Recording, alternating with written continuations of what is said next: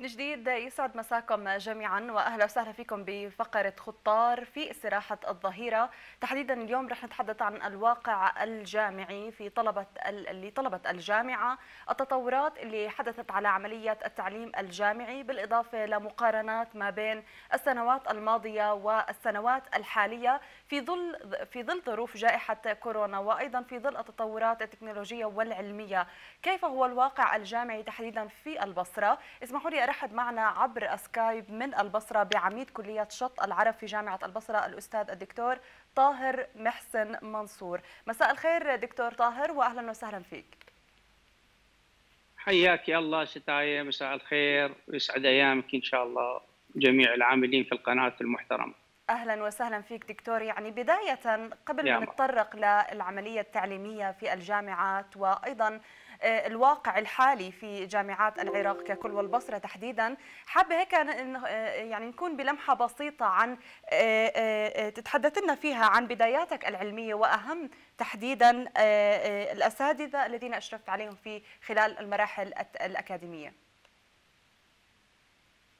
حياك يا الله بسم الله الرحمن الرحيم. أنا الأستاذ الدكتور طاهر محسن منصور عميد كلية شط العرب الجامعة. آه، بكالوريوس من جامعة البصرة من الأوائل في عام 1976 الماجستير والدكتوراه من فرنسا في موضوع الإدارة الاستراتيجية من جامعة مرسيليا. أهلا وسهلا فيك آه عم حياك الله. عملت في جامعة البصرة لفترة زمنية طويلة رئيس قسم إدارة الأعمال ومسؤول لبرنامج الدراسة العليا في إدارة الأعمال. عملت أيضا في جامعة الزيتون الأردنية آه، لفترة تسع سنوات من 2000 إلى 2009 ثم حاليا عدت إلى جامعة البصرة آه، لأكمل المشوار. وحاليا أنا عميد كلية شط العرب الجامعة. ألفت كتب كثيرة في يمكن ما يناهز ال 25 كتاب. أشرفت على العديد من أطاريح الدكتوراه والماجستير في إدارة الأعمال. ناقشت أكثر من 100 آه، طالب في مختلف مواضيع إدارة الأعمال سواء في الأردن أو في العراق. شكرا هذا مختصر عام أهلا وسهلا فيك دكتور. يعني شرفتنا وسعداء سعداء جدا بوجودك معنا لليوم. إضافة يعني آه، آه، ما شاء الله عليك يعني سيرة علمية حافلة بالإنجازات. أهلا وسهلا فيك مرة ثانية. أهلا وسهلا. الله. الله الله يبارك فيك الله يبارك نعم. فيك ست دكتور اذا. إذا بدنا ندخل هلأ بفكرة التعليم الجامعي يعني ما شاء الله أنت آه، يعني خلينا نحكي من سنوات ماضية في الجامعات وفي الحرم الجامعي. هل التعليم اختلف من السنوات الماضية عن السنوات الحالية؟ كيف بتقيم الوضع بشكل عام؟ آه، بشكل عام التعليم في العالم يتطور ولا نعم. يتأخر. نعم. بشكل عام. آه، لكن هذا التعليم تواجه تحديات تواجهه العديد من التحديات وفق اعتبارات اللحظة والزمن. آه، الحقيقة العالم بدأ قبلنا في إعداد نفسه وتهيئة وضعه فيما يخص التعليم الإلكتروني والتعليم من خلال وسائل الاتصال المختلفة. إحنا في بشكل عام في الوطن العربي يمكن آه، بدينا شوي بهمة أكثر عندما ظهرت جائحة كورونا واحتاجينا أن نعد نفسنا لأن ندخل في عصر جديد من التعليم وهو آه، استخدام آه، منهج التعليم الإلكتروني بشكل مكثف. طبعا هذا الأمر يحتاج توفير مستلزمات كثيرة قد تجد بعض الجامعات نفسها في إشكالية للحصول على هذه المستلزمات المتطورة سواء من خلال وجود المستلزمات المادية يعني الأجهزة ووسائل الاتصال أو حتى من خلال نفسهم التدريسيين أن يعدون نفسهم لعصر جديد من تعليم إلكتروني متطور يحتاج إلى تواصل سريع مع الطلبة وتقديم ما هو مفيد لهم. فهذه القضية بالحقيقة يعني يمكن تكون فاصلة زمنية بين الوقت الماضي نعم. اللي هو كان التعليم يجري من خلال وجود الطلاب في الحرم الجامعي ودخولهم للقاعات الدراسية لمواجهة الأساتذة face to face لنقل المعرفة بهذه الطريقة، الآن طبعا اختلفت الطريقة لأنه يمكن العديد من المواد تدرس عن بعد آه، من خلال وسائل التعليم الإلكتروني. ونحن حاليا يمكن بدأنا يعني مثلا في العراق وزارة التعليم العالي والبحث العلمي العراقية آه، بدأت من هذه السنة بتجربة التعليم المدمج اللي هو خليط من تعليم إلكتروني وتعليم حضوري. نعم. طبعا نعرف إنه الجائحه لها أثر كبير على الوضع الصحي في البلدان المختلفة وبعض من امتدادات فيروس كورونا أصبحت خطرة. لذلك يتطلب الأمر تباعد جسماني وتباعد اجتماعي. هذا طلب أن نحث الخطى باتجاه تعليم إلكتروني يحتاج إلى مستلزمات. وفرناها لعدد من المساقات لعدد من المواد. ومواد أخرى يمكن أن آه، يكون فيها التعليم حضوري نعم. في الجامعة هذا ما آه، آه، تم العمل بموجبه لهذه السنة الحالية والنتائج جيدة ومبشرة بخير حقيقة نعم دكتور كنت بدي يعني أتطرق لهذه النقطة نعم. تحديدا يعني التعلم الإلكتروني هو كان يعني نعم.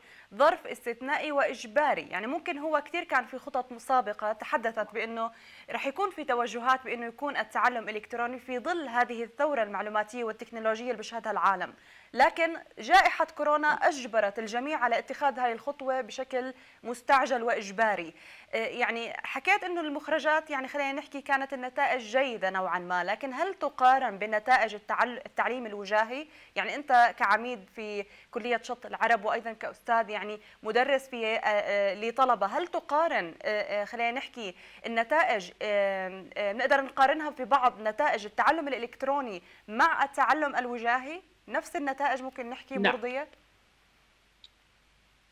شكرا ست آية هذا سؤال بالحقيقة وجيه جدا وأعتقد يجب أن يؤخذ بنظر الاعتبار بأهمية قصوى نعم. آه، إذا نأخذ جامعاتنا بشكل عام جامعاتنا إحنا العراقية أو حتى أنا أعرف يعني عندي اتصالات مع جامعات في الوطن العربي آه، إحنا نشوف أكو فجوة إنه التعليم من كان تعليم حضوري كانت المادة تصل بسلاسة إلى الطالب والطالب يتابعها ويصير حوار ونقاش وتعميق للأفكار كانت الامتحانات تجري وفق وجود نظام للامتحانات دقيق حتى الطالب يكون مهيئ لتأدية الامتحان في القاعة الدراسية. الآن إحنا نمتحن الطالب عن بعد. الآن نعم. نمتحن الطالب عن بعد. العدد ك... يمكن عدد كبير من طلبه لم تتوفر لهم المستلزمات، يجوز حتى أيضا مسألة لابتوب ما عنده. يجوز النت ضعيف بمنطقته يجوز الكهرباء ضعيفة بمنطقته.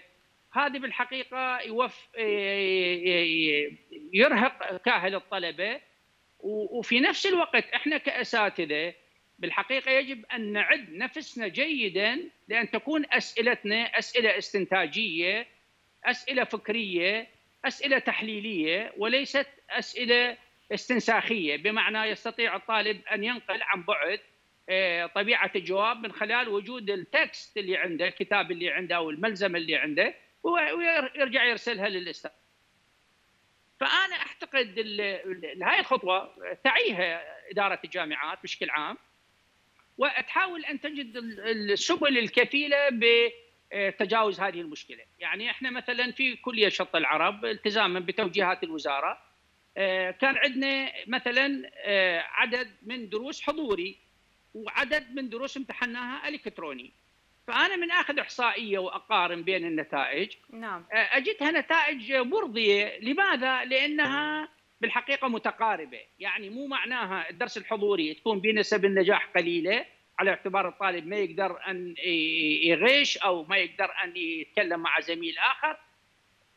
فنتائج الامتحان الحضوري هي مقاربة للامتحان الإلكتروني فهذا يعطيني دليل بالطمأنة لكنه ليس كافيا يجب أن نحث الخطى باتجاه تعزيز مستلزمات الأداء والتدريس الإلكتروني في نفس الوقت أيضا أن لا ننهي بشكل كامل آه، أهمية المحاضرات الحضورية في قاعات الدرس وفي الجامعات يعني نعم. بشكل عام إذا نقيس النتائج. بالعموم آه، كانت النتائج مثلا قبل كورونا قبل الامتحانات الإلكترونية كانت النتائج تأتي بشكل معين. خلينا نقول مثلا نسب النجاح خلينا نقول 60% الآن يمكن أن نجدها تصل إلى 85% مع وجود امتحان إلكتروني.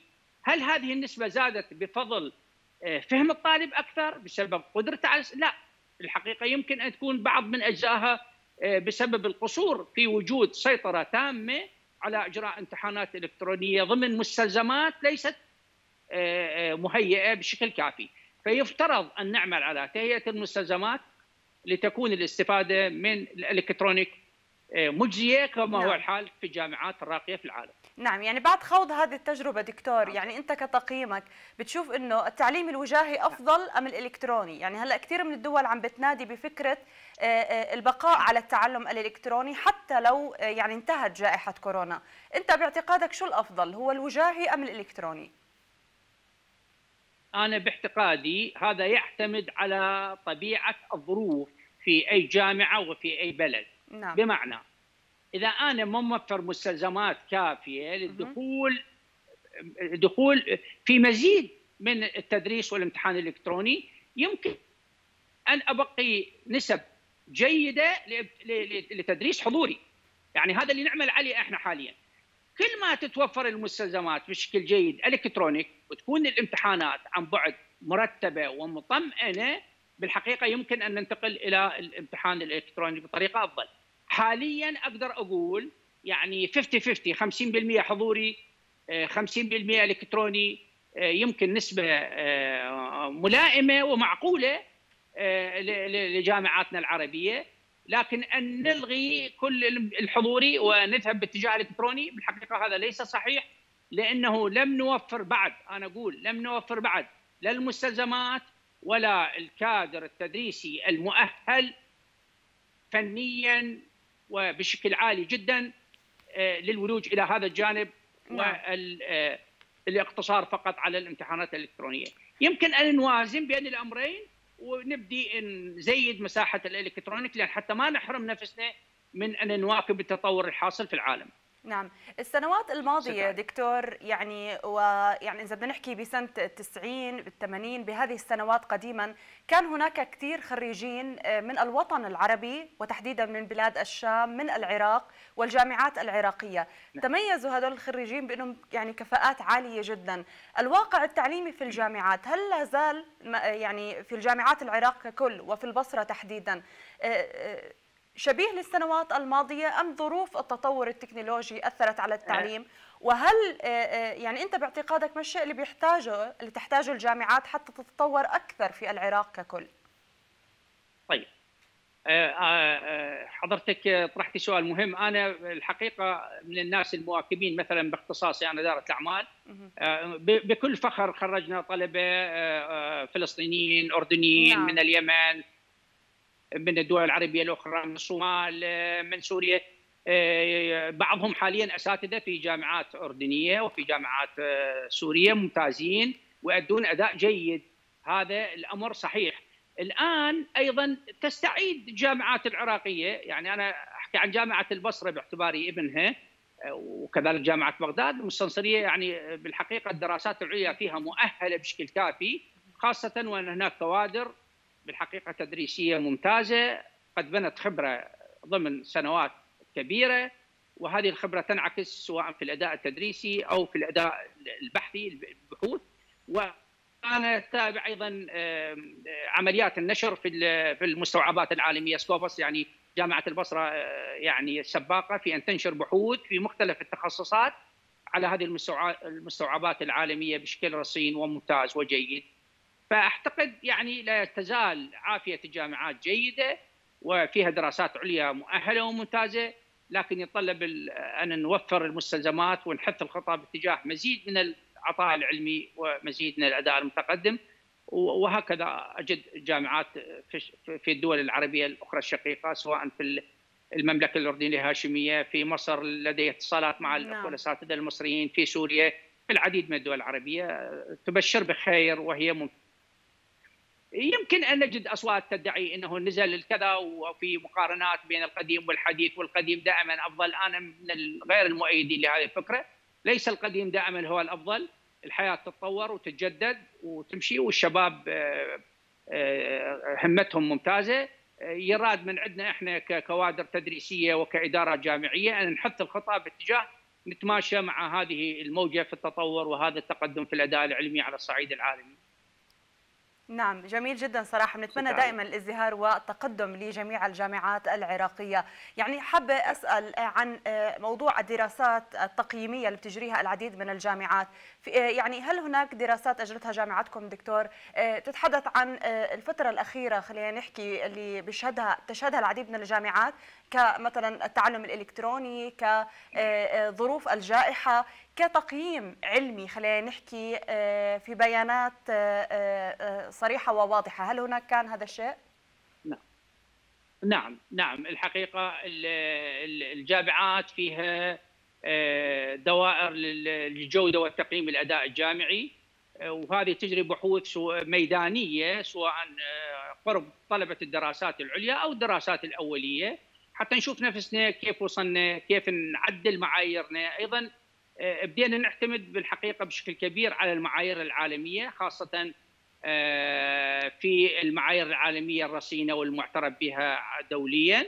إحنا لا تزال جامعاتنا بالحقيقة بالرانكينج يمكن شوية بعيدة لكن أنا بالحقيقة من خلال متابعتي أجد إنها ترتقي بشكل جيد وبشكل مقبول يتماشى مع طبيعة المستلزمات اللي موفرينها ومثلا في جامعات بالحقيقة رصينة وممتازة في الوطن العربي سواء في المملكة الأردنية الهاشمية عندنا في العراق في العربية السعودية في يعني جامعات ممتازة ورصينة وتجري هاي التقييمات وتتابع إدارات هذه الجامعات الارتقاء لكي يمكن أن لا نجعل جائحة كورونا سبب لتعطيل نعم. المستوى العلمي والرجوع إلى الوراء في هذا المجال. نعم يعني دكتور إحنا بنتمنى دائما التقدم والازدهار لكل الجامعات العراقية. صراحة سعدنا جدا بالحديث معك وأيضا بهذا يعني يعني رسائل صراحة مبشرة كانت من حضرتك حول الواقع الجامعي والأكاديمي في جامعات العراق والبصرة تحديدا. نتمنى دائما المزيد والازدهار لكل جامعاتنا وشكرا لوجودك معنا دكتور.